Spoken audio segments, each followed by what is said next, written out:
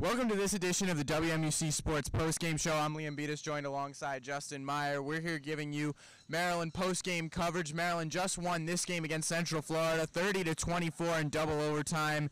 It was really a thriller the whole way through. The teams were neck and neck, and despite Central Florida getting the edge on most of the yardage and the time of possession, Maryland was able to come on top. I'm so proud of our guys. I mean, there were so many times in that game they had to dig deep, you know, and, and the offense had to pick up the defense, and the defense had to pick up the offense, and special teams and everything. There, there's a lot of swings in that game, and I think more than anything, when you look at our team to say, you know, we, we held strong through all that, that, to me, that, that's a, a great sign for us. And the big difference for them offensively in the second half was running the ball, was sticking with the running game, and that helped immensely.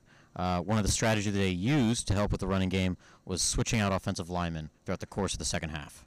We, we have enough guys that, that can play up there. I think you know, that's one of the strengths of our team, and, and if, if the guys earn the trust of his teammates and his coaches to play, we're going to play them. Now, Maryland had a unique task to prepare for this week. They had to prepare for McKenzie Milton, a true freshman quarterback who hadn't played a single down of NCAA football, coming out Division One, going up against a Big Ten opponent. Maryland had to go back to the film and watch his high school film to find out that he was a dual threat quarterback and to prepare for this game. Obviously, the kid's a tremendous athlete, as you can see, but you know, I feel like we did what we had to do, stuck with each other. Everybody played played uh, their hearts out, so I feel like we did pretty good. It was good. Uh, you you always want to you want to win every game, uh, especially uh, going in three and zero. That's that's pretty good. Uh, we got a bye week, so we can get healthy. Uh, you know, just get ready for the next team.